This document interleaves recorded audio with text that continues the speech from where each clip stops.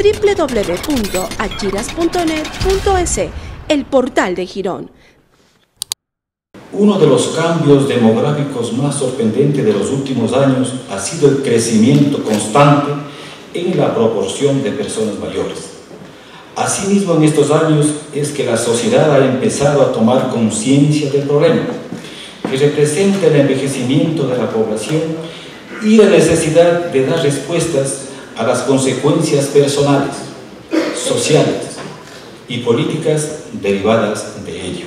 Felicitar el trabajo realizado por el doctor Hugo Lucero Luzuriaga, que hay que reconocerlo, no es la primera publicación que se realiza, es la segunda.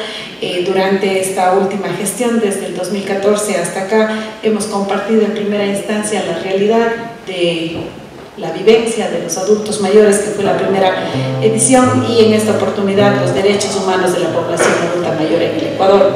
Este libro es un aporte trascendental para el país y fuera del país. Sistematiza de manera ordenada y clara, con lenguaje sencillo, los derechos en el primer capítulo, el maltrato en el segundo, el marco normativo y jurídico en el tercero, y concluye en el cuarto con una discusión final de estos temas.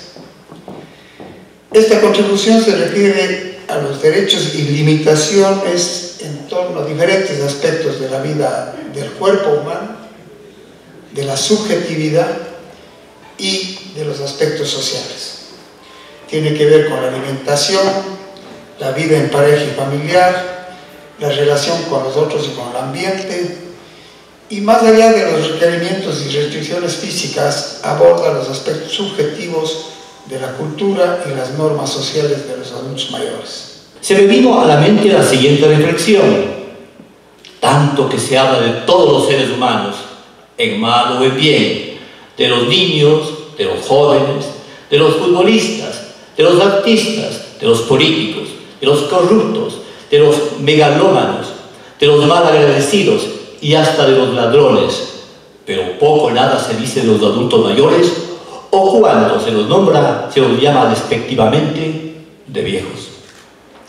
Esto es injusto, discriminatorio, inequitativo y absurdo, conocido que tarde o temprano vamos a llegar a ser como ellos, los viejos, si es que el Supremo lo dispone, caso contrario, terminaremos más pronto la vida terrenal.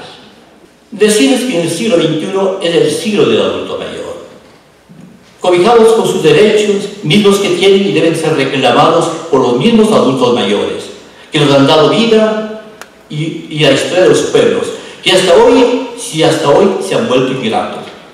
Hoy con orgullo puedo decir, envejecer no debe ser entendido como sinónimo de marchitar, debe ser entendido como un privilegio de sabiduría.